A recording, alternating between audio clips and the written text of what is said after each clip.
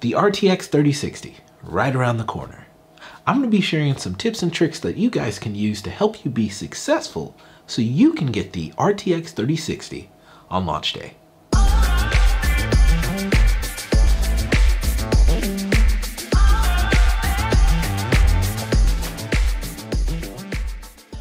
Hey guys, it's Chris with Tek Vibe. Today, I'm going to be sharing some tips and tricks with you that will help you be successful in purchasing the RTX 3060 on launch day. A lot of people are excited for these cards and with good reason.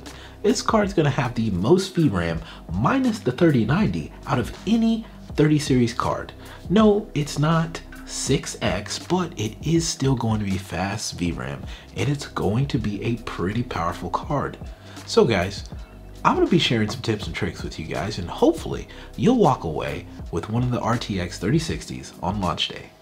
Let's get into it. Okay guys, so before we get into it, I do want to go ahead and let you guys know, maybe you haven't heard, a lot of you probably have, but the RTX 3060 is going to be a card that is not going to be advantageous for miners to go after. NVIDIA is taking steps in order to block miners from wanting to use this card and they're doing that by reducing the efficiency of it. They're reducing the hash rate that the RTX 3060 is actually capable of producing. NVIDIA is claiming that this is going to be an unhackable route. I don't know if that's going to actually stick. I don't know that anything's unhackable nowadays, but I'm I'm sure that for a while it'll probably work, but I wouldn't guarantee that it's going to stay that way. Nonetheless, I think that it's going to be a very big deterrent for now, at least for miners, which is going to be a good thing for gamers if you are after it. So if this is a card that you're wanting to get, you're a gamer, you've been looking forward to it, you're still going to have to deal with bots, you're still going to have to deal with scalpers, but you may not be competing with miners now, which is going to be a good thing for you guys. Now, I'm going to be getting to this tips real quick, but first, guys, if you could do me a favor, go ahead and hit that like and then subscribe. I do my best to help out on this channel. I'm a fairly new channel, trying to grow as much as I possibly can, so if you could do that for me, I'd appreciate it. Now, we're going to get into this. Okay guys, so for the first tip, do not try to use nvidia.com. I know in the past nvidia has been one to go to if you're going to try to buy some of their founders edition cards and whatever else cards coming out you can typically go there in the past you've been able to buy through their site but this is not going to be the case with this site because they are not going to have any founders edition card for the RTX 30 series. Let's go ahead and check in, take a look here real quick guys so you can kind of see for yourself. Now in the past, like I said, you used to be able to go ahead and go here and pick a card, you could buy a card on launch day until they ran out. That's how it was in the past, but now that they've had so many issues with bots, scalpers, and just so much traffic hitting their site, they're not selling ink cards anymore on their site. They're leaving it up to secondhand retailers. It's just not happening on their website anymore. So don't try to go to the site. It's not going to do you any good. You're going to be wasting your time. It's going to just send you simply to a secondhand retailer just like this. If you try to go to click one on launch day, that's what you're going to run into, guys. So don't waste your time. You're not going to have any sort of help there. So don't waste your time. Now, when can we expect to see these cards online? Well, it's going to be a little bit different this time than we're used to seeing. So we're actually going to see a 9 a.m. Pacific Standard release this time instead of the 6 a.m. Pacific Standard that we're used to seeing. So definitely don't uh, sit there and spam F5 thinking you've missed the launch. You haven't yet. It's just a little bit later. So 9 a.m. Pacific Standard, 12 p.m. Eastern Standard Time. So who can you expect to have the RTX 3060 on launch? Who's going to be the most reliable to buy from? Well, guys, what I would go ahead and say to you is definitely throw Amazon out of the picture. Amazon will probably have the cards, but their product landing page is very difficult to find and can more often than not end up screwing you over trying to find it and wasting your time. It, it's just you're going to have better success trying to go with other retailers such as Best Buy, Newegg, B&H Photo, and that's who I actually like to use, guys. If you're trying to get into something on launch day, try Best Buy, try Newegg, try B&H Photo.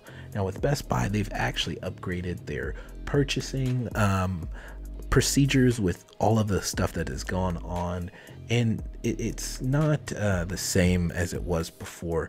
Whenever a product does come into place and it, it actually launches the add to cart will happen. You'll get to click it and it'll go through this whole process of telling you to wait and whenever it becomes available you can actually click to add it to cart again. This is a procedure that they've taken to kind of help um, get rid of bots. I don't know if this is actually kind of checking your system or whatnot in, during this process, but this is just some steps that, that they have taken to help get rid of the bots in the whole process. So definitely consider trying Best Buy because I feel like they're going to be very big contender on this launch.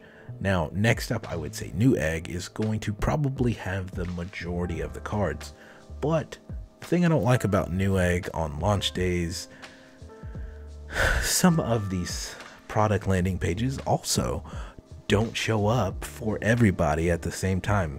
They get hit so hard and you may not even see the product until well after somebody's already bought it and it's sold out. So I would say that you're probably going to have more success on Best Buy, but that's just been my personal experience with launches but these two sites will probably have the bulk of the supply. Now, B&H Photo is also going to be one that's probably going to have these cards. Now, I have seen in the past, at least with the 5900X, that I was able to actually pre-order the CPU. I ended up canceling it later because I wasn't going to get it on time, for me anyways at the time.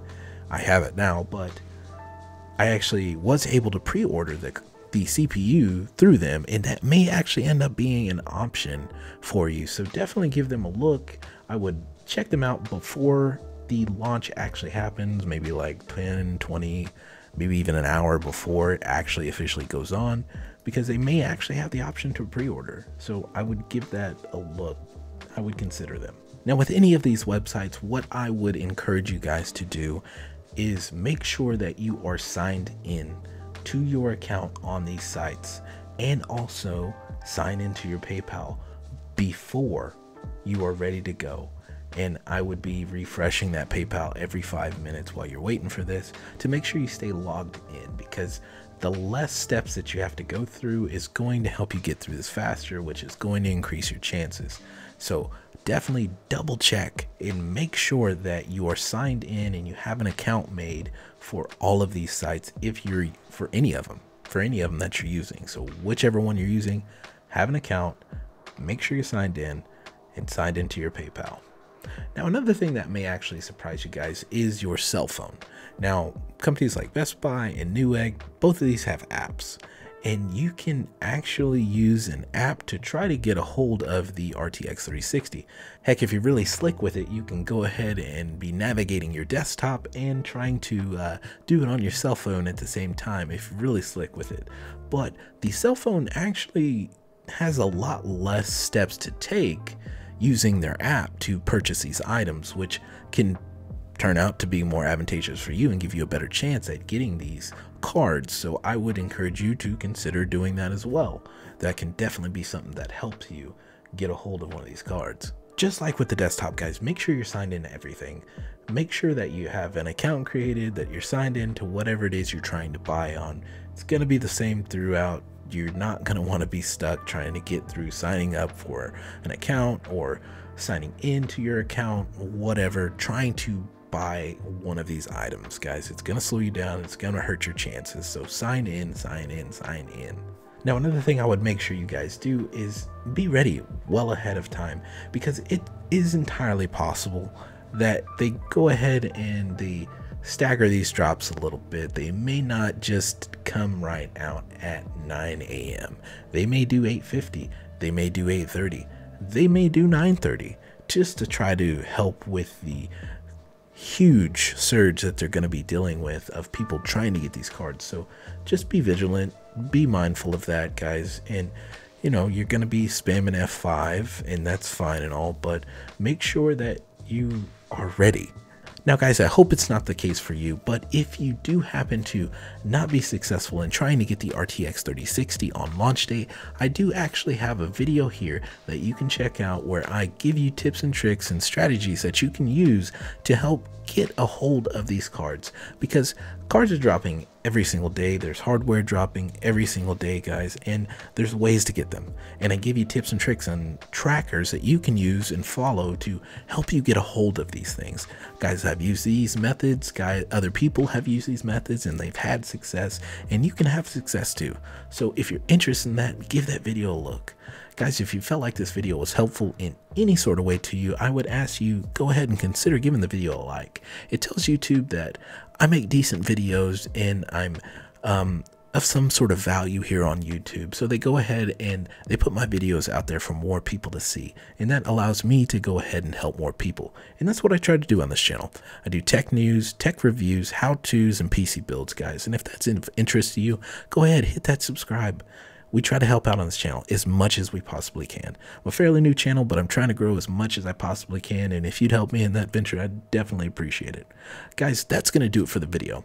As always, if you have any questions, concerns, confusions, whatever it may be, don't hesitate. Ask. I don't mind helping. I'm really trying to build something for you guys here. Hope you want to be a part of it. A simple like, share, subscribe, comment, they go so far for the channel. It really helps me continue to make content and grow. And with that said, I hope you can like, I hope you get to subscribe. And if not, well, I hope to catch you in another one. And remember, it's a vibe, a tech vibe, specifically. We'll see you.